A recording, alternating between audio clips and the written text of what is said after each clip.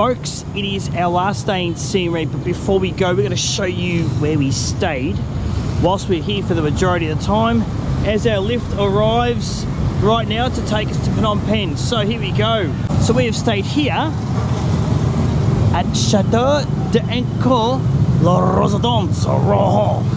Um, Here's the building here, and we've got some gentlemen painting it as we speak.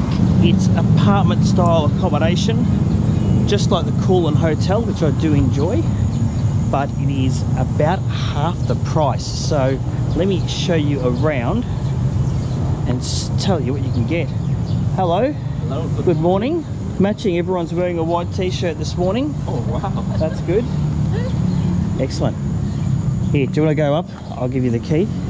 Is she up there? Yeah, everyone's up there. So first I'll take you to the reception area, which is over here. And you've got a desk with a computer. You've got a uh, full restaurant these guys have. However, like most places, because there's no tourists, the restaurant is shut. So it's remaining dormant. G'day, how are you? You've got rooms straight up here, and but we're in this building across here. I'll take you to the pool first before we go up to the room, which is over here. These stepping stones, you've got to sort of step on each one. It makes you walk in a funny pattern. Yeah, you've got a nice, reasonable pool area.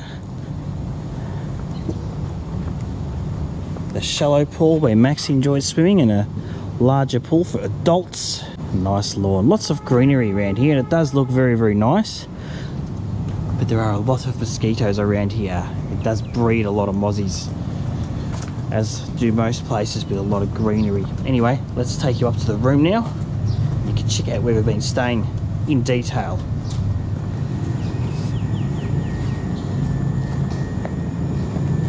So there's no lift here, you've got to go up the stairs. So thankfully we are on the first floor. Oh, door's open. Rightio. So, first thing that meets us here, which you've seen prior, is the kitchen. And it's a fairly good sized kitchen. You get a gas stove and the gas is under there, so it's not, uh, what do you call it? Main gas, it's bottle gas. Good sink, plenty of bench space proper range hood, plenty of cupboard space up here, and a fridge, which is really handy. So it's almost like this was designed for expats as well to come and stay long term. Here's the full shot of the living area.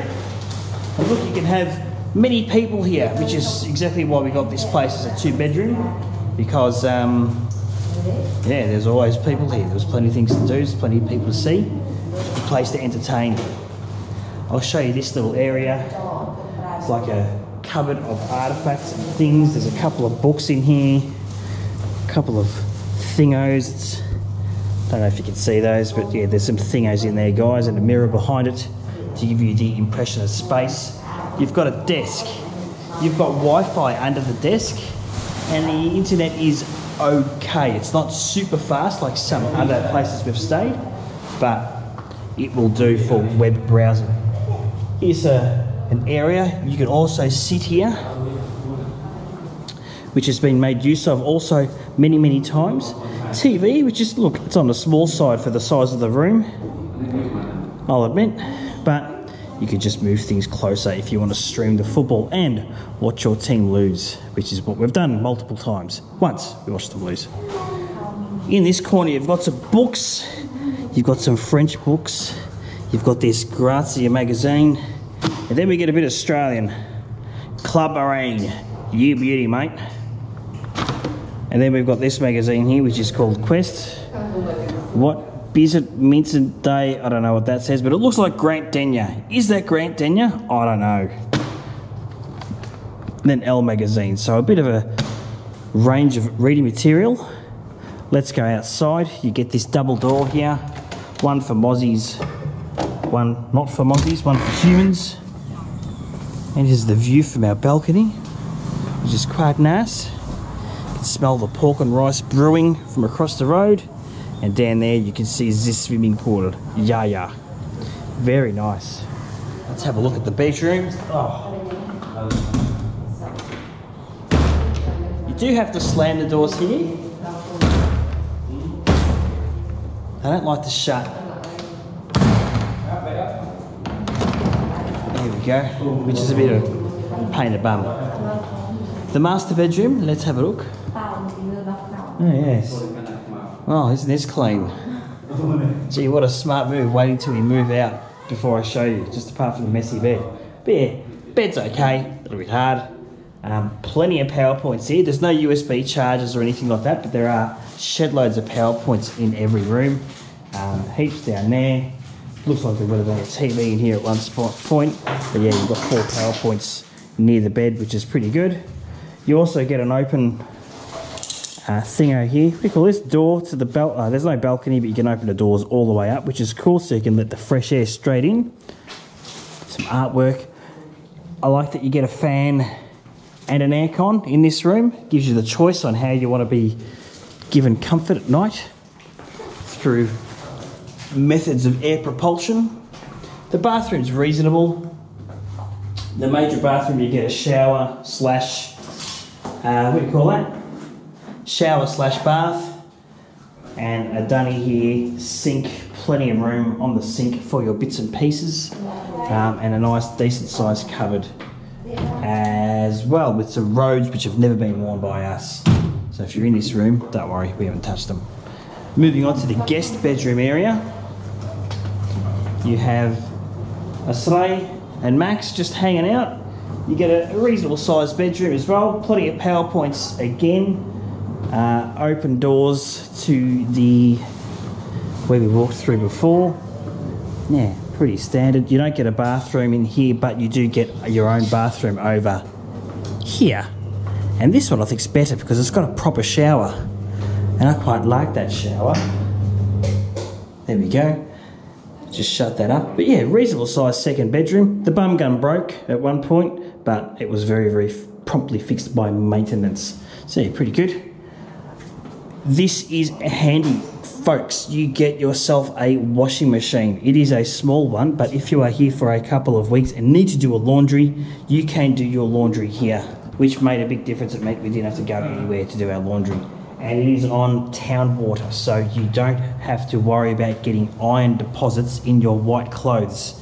Although I probably still need to soak my whites.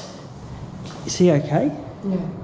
You're just doing some stretches, mate. You got so, uh, so ankle, Ah, sore bum. not bad. Oh, look at that. Expert stretches. Yeah, so that's it. Two bedroom, two bathroom, big living area. Um, we've got to pack and go. This room here for us was 55 a night? 55 bucks a night. So compared to Coolum where we were, $10 cheaper but with a separate bedroom. Good things about here, uh, price is pretty good. Location is about the same. We are one block away from the Coolin Hotel. We are one block back from Sivuta Boulevard, and there's a whole heap of sort of street foodie places downstairs to us, which is really really good. Things that aren't so great about this room, it is a bit dated. It does have that colonial feel about it. The Chateau de what was it Chateau Chateau de Angkor Residence. Um, lots of dark wood. These tiles remind me of like being in a pizza shop in Reservoir uh, or something like that. And it, it isn't as bright in here. I mean, you've seen a few videos from this place. The light is not great, but it does stay reasonably cool d- during the day. And lastly, the other thing I don't like about this place is the mosquitoes. So even though we've got these doors, like these mosquito nets, every day there just seems to be more and more mozzies in here. We do kill them a lot. It is something that happens in Cambodia. You do get mozzies in a lot of hotel rooms, but compared to uh, other ones we've stayed at, this has had its fair share of mozzies, and I've woken up with my fair share of bites. So tell us what you think of this joint. Um, I hope you've enjoyed hanging out with us during our time at Chateau de Angkor La Residence. Um, have you enjoyed your stay here? Yes. I said I don't like the bit dingy and the mozzies. Oh, and lastly, the furniture. I mean, you saw how big this space is. Give us a bloody couch. I mean, that, that, ha- that has been a bit ordinary actually, because we know there's a couch next door, and we don't have one, and we didn't, we didn't pinch it. We were good people. But yeah, it would have been nice to have a couch instead of some hard wooden furniture, which is dearly, dearly loved by the people of this fine country. Anyway, I hope you've enjoyed this video. I hope you've enjoyed our stay here. If you've got any comments or questions, leave them below. I'll leave a link to this place also in the description jar. Anyway, we've got to pack and go. See you later. Ciao.